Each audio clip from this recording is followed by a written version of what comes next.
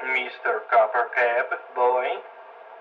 I make a watch your video and uh, it make me scared and I scream and I don't don't like dubstep so you know sorry but uh, you and Matt